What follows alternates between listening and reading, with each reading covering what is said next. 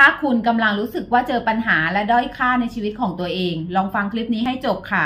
ครูเกมมีโอกาสได้ฟังเรื่องเรื่องหนึ่งนะคะ เป็นเรื่องของอาจารย์คนหนึ่งที่กำลังจะสอนนักเรียน เขาได้หยิบเงินแบงค์พันออกมา แล้วเขาถามนักเรียนว่า นักเรียนอยากได้เงินนี้ไหม นักเรียนต่างก็ยกมือขึ้น แล้วบอกว่าทุกคนอยากได้เงินนั้น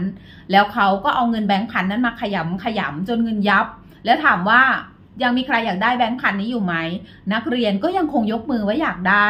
หลังจากนั้นอาจารย์ก็คว้างเงินนั้นลงไปกับพื้น แล้วถามว่าแล้วถ้าแบบนี้ล่ะ ยังมีใครอยากได้เงินนั้นอยู่ไหมทุกคนก็ยังคงตอบว่าอยากได้เงินนั้น อาจารย์ก็เลยสอนกับนักเรียนว่า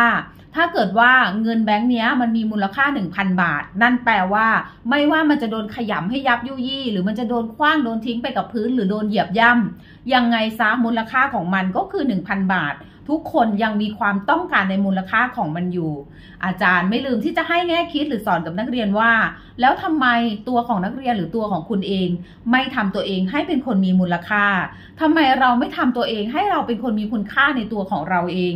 ทำไมจะต้องคอยให้ผู้อื่นมาบอกว่า เราต้องเป็นอย่างนั้นต้องเป็นอย่างนี้ต้องควรทำแบบนั้นแบบนี้ เราสามารถมีคุณค่าได้ในตัวของเราเอง เราสามารถพัฒนาตัวเอง เราสามารถมีศักยภาพของตัวเราเอง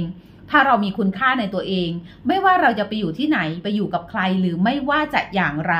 ทุกคนจะต้องการเรา เพราะเราจะเป็นที่ต้องการ และเราก็จะมีคุณค่าในตัวเอง สามารถใช้คุณค่าของเราทำให้ตัวเราเองมีความสุขโดยไม่ต้องขึ้นตรงกับใคร